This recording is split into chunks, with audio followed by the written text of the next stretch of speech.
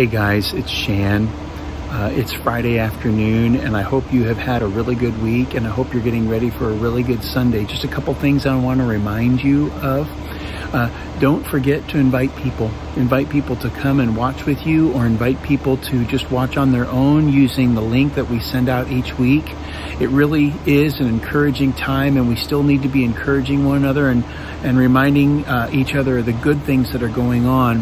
One other thing I want to uh, encourage you to do, if you are attending on Sunday morning, uh, would you please uh, just kind of uh, remember that there are some people who uh, really are still nervous and they don't necessarily want to be hugged. They just would like to wave and see your smiling faces. And uh, we've had a couple of people that have uh, had some experiences with the, the virus and, and they're still really nervous about all that. So if you uh, do all of us a favor and just kind of keep it to just waving and uh, saying hi and bye on the way in and the way out the door. I look forward to seeing you on Sunday.